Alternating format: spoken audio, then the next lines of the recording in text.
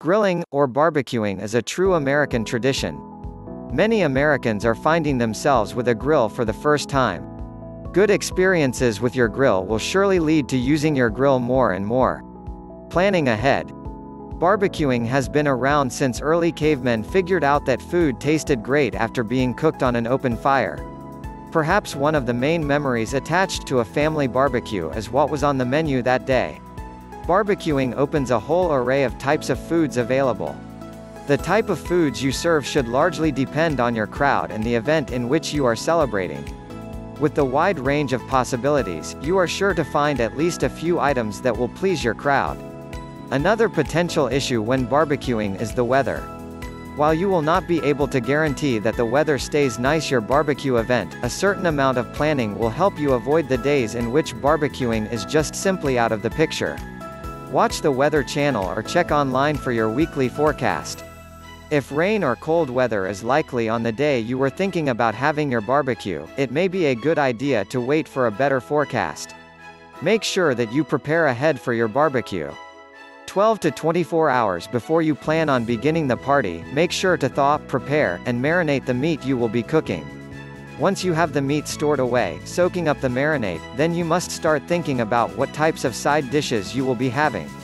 If you want a completely tradition barbecue, you may want to stick with traditional sizes. Traditional barbecue sides include potatoes, potato salad, baked beans, and coleslaw. Maintenance. You will need some common household items on hand when it comes time to clean your barbecue grill. Brass wire grill brush. Steel wool pads, preferably that contains soap already. Mild dish soap. Sponge or dishcloth. Spray cooking oil. Dry baking soda. Aluminum foil. The first thing that should always be done to your grill is a routine brushing. Using your brass wire grill brush or other brush suitable to your type of grill, you should brush off all the surfaces. By routinely brushing your barbecue grill, you will prevent any type of buildup.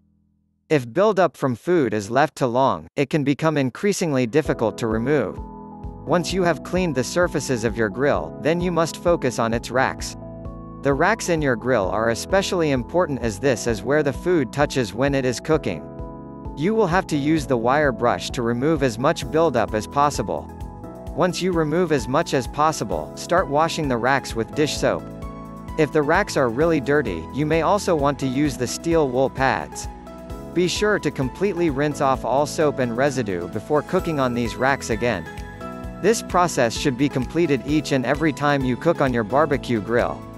If these steps are not taken, you may find it increasingly difficult to clean your grill, and may find that damage will occur. The majority of problems that arise from barbecue grills comes from lack of cleaning and maintenance. That means if you notice something does not seem quite right with your barbecue grill, chances are it can be fixed with just a simple cleaning. Even if you clean it, and still find that it is having problems, at least you saved yourself the potential embarrassment of taking it to a professional only to find out all it needed was to be cleaned. Finally, one method of preventing problems with your barbecue grill is protecting it from the outdoors. Covers are available for grills in all shapes and sizes, so chances are, you will find one that fits your grill. If you have a cover for your barbecue grill, then all you will ever need to do is do the regular maintenance listed above.